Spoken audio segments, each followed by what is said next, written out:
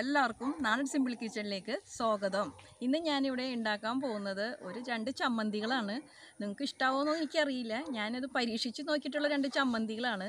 അപ്പോൾ കഴിച്ചു നോക്കിയിട്ട് നിങ്ങൾ അഭിപ്രായം പറയണം. ഞാനിവിടെ ഉണ്ടാക്കുന്നത് രണ്ട് ജാതി ചമ്മന്തികളാണ്. ഒന്ന് ജാതിക്ക ചമ്മന്തിയും ഒന്ന് കടല ഈ കപ്പലണ്ടിയും കൊണ്ട് ഉണ്ടാക്കിയ ചമ്മന്തിയാണ് ഉണ്ടാക്കുന്നത്. അപ്പോൾ ഇത് ദോശ ഞാൻ കഴിച്ചു നോക്കിയിട്ട് കൊള്ളാം. നിങ്ങൾക്ക് ഇഷ്ടമാവുമെന്ന് എനിക്കറിയില്ല. നിങ്ങൾ കഴിച്ചു നോക്കിയിട്ട് അഭിപ്രായം പറയണം. നല്ല ചോറിന്റെ കൂടെ കഴിക്കാനും ദോശയുടെ കൂടെ കഴിക്കാനും നല്ല ചമ്മന്തിയാണ്. ഇത് രണ്ടും. അപ്പോൾ നിങ്ങളിത് കഴിച്ചു നോക്കിയിട്ട് അഭിപ്രായം പറയുക പിന്നെ എന്റെ വീഡിയോ ആദ്യമായിട്ട് കാണുന്നവരാണെങ്കിൽ സബ്സ്ക്രൈബ് ചെയ്യാൻ മറക്കരുത് കേട്ടോ അപ്പോൾ ഇതെങ്ങനെയാണ് ഉണ്ടാക്കുന്നത് ഞാനിവിടെ കാണിക്കാം. ഒരു ചമ്മന്തി അരച്ചാലോ? ഈ ജാതിക്കായം കൊണ്ടൊരു ചമ്മന്തി അരയ്ക്കാം ഇനി നമുക്ക് ചമ്മന്തിക്കായിട്ട് കറിവേപ്പില വേണ്ടേ? കറിവേപ്പിലയും പൊട്ടിക്കാം.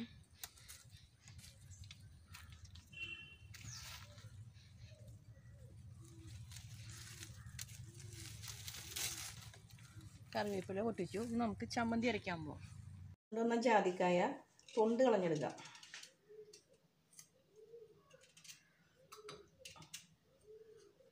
ജാതിക്കായുടെ ഇത് കഴിക്കണം നല്ലതാണ് കേട്ടോ. വയറുവേദനയ്ക്കൊക്കെ നല്ല സാധനം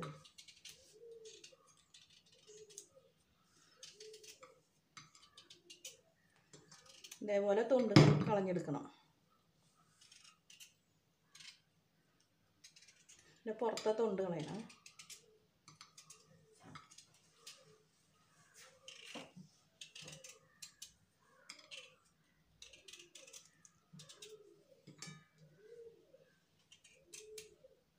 കളഞ്ഞതിന് ശേഷം നമുക്കിത് മിക്സിയുടെ ജാറിലേക്ക് ഇതുപോലെ അരിഞ്ഞിടാം. കനം കുറച്ചങ്ങോട്ട് അരിഞ്ഞിടാം.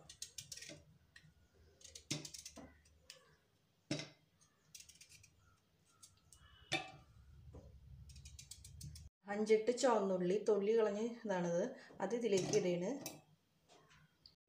കറിവേപ്പില. അത് രണ്ട് തണ്ട് ഇതിലേക്ക് ഇടാം. കൊണ്ടുവന്ന കാന്താരി മുളകില്ലേ കാന്താരി മുളക് ഇത് ജാറിലേക്ക് ഇടാം.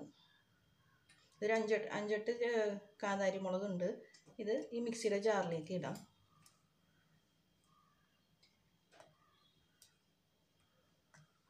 നേരത്തെ ഒരു തേങ്ങ ചിരണ്ടി വെച്ചിട്ടുണ്ട്. അത് ഇതിലേക്ക് ഇടാം.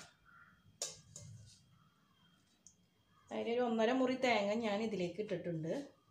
ഉപ്പിടാം. ഉപ്പ് നമ്മുടെ ആവശ്യത്തിന് ഇടാം. ഉപ്പ് ഒരു അര ടീസ്പൂൺ ഉപ്പ് ഞാൻ ഇതിലേക്ക് ഇട്ടിട്ടുണ്ട്. കൂടി അരച്ചെടുക്കണം. ഇത് മിക്സിയുടെ ജാർ അടച്ചു വെച്ച് നമുക്കിത് അരച്ചെടുക്കാം. ഈ ജാതിക്ക ചമ്മന്തി അരച്ചെടുത്തിട്ടുണ്ട്. ഇനി നമുക്കിത് മാറ്റി വയ്ക്കാം എന്നിട്ട് നമുക്ക് അടുത്ത ചമ്മന്തി നോക്കാം. ചട്ടി അടുപ്പത്ത് വെച്ചിട്ടുണ്ട്. ഇതിലേക്ക് കുറച്ച് കപ്പലണ്ടി തൊലി കളഞ്ഞതാണിത്.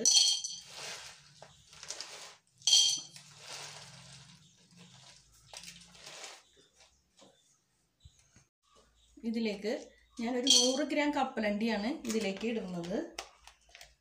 ഇനി നമുക്കിതിലേക്ക് മുളകിടാം വറ്റൽമുളക്. അതായത് ഒരു എട്ട് ഒരു എട്ട് വറ്റൽമുളക്. അതിൽ ഒരു നാലെണ്ണം പിരിയാമുളകും നാലെണ്ണം സാധാരണ വറ്റൽമുളകുമാണ് ചേർത്തേക്കണേ. പിന്നെ ഞാൻ ഇതിലേക്ക് ഇത് നമുക്ക് ചൂടാക്കി എടുക്കാം ആദ്യം തന്നെ.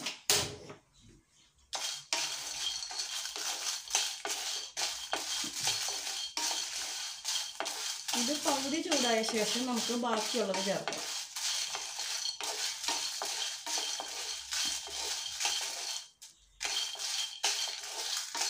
ഞാനിവിടെ കപ്പലണ്ടിയും വറ്റൽമുളകും പിന്നെ കാശ്മീരി മുളക് അതായത് പിരിയമുളക് ഇതെല്ലാം ഞാൻ ചൂടാക്കിയെടുത്തു.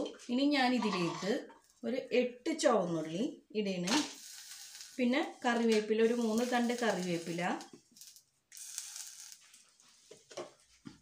പിന്നെ ഞാൻ ഇതിലേക്ക് ഒരു മുറി തേങ്ങ ചുരണ്ടിയത് ഇടേണ്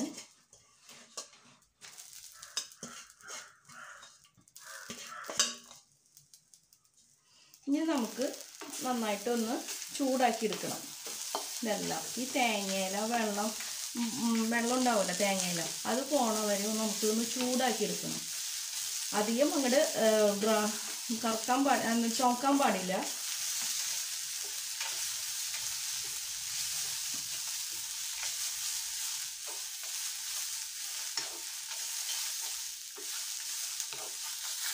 തേങ്ങയില വെള്ളമൊക്കെ ദേ കുറച്ച് പോയി. ഇനി നമുക്ക് ഇതിലേക്ക് ഇത് ഇത്രയും വാളംപുളി ഞാൻ ഇതിലേക്ക് ചേർക്കുന്നുണ്ട്. അതിയായ കൊള്ളൂല ഭയങ്കര പുളിയാവും. അപ്പോൾ ടേസ്റ്റ് അങ്ങോട്ട് പോകും പിന്നെ ഞാൻ ഇതിലേക്ക് ഒരു അര ടീസ്പൂൺ ഉപ്പ് പൊടി ചേർക്കുന്നുണ്ട്. ഇതെല്ലാം കൂടി ഒന്നും കൂടി നമുക്കൊന്ന് ചൂടാക്കി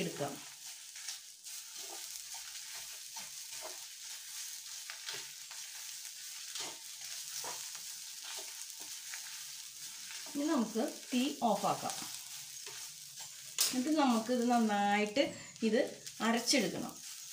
ചൂടാറിയ ശേഷം നന്നായിട്ട് അരച്ചെടുക്കാം.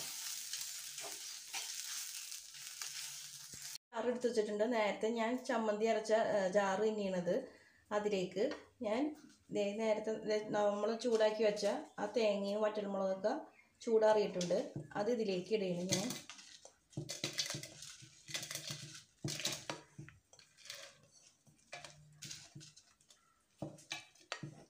രണ്ട് ടീസ്പൂണോളം വലിയ ടീസ്പൂണ് വെള്ളം ചേർത്ത് അത് നമുക്കിത് അരച്ചെടുക്കാം.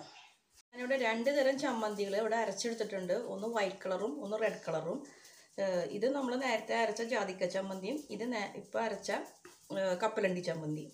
അപ്പോൾ രണ്ട് ചമ്മന്തികളും കഴിക്കാൻ നല്ല ടേസ്റ്റാണ് ചോറിന്റെ കൂടെയായാലും പിന്നെ ദോശയുടെ കൂടെ ഏലും കഴിക്കാൻ നല്ല സൂപ്പർ ടേസ്റ്റിയാണ് അപ്പോൾ എല്ലാവരും ഇത് ട്രൈ ചെയ്ത് നോക്കണം. പിന്നെ എന്റെ വീഡിയോ ആദ്യമായിട്ട് കാണുന്നവരാണെങ്കിൽ സബ്സ്ക്രൈബ് ചെയ്യാൻ മറക്കരുത് കേട്ടോ പിന്നെ ബെല്ലൈക്കണം കൂടി അമർത്താൻ മറക്കല്ലേ? അപ്പം നമുക്ക് അടുത്ത വീഡിയോയിൽ വീണ്ടും കാണാം.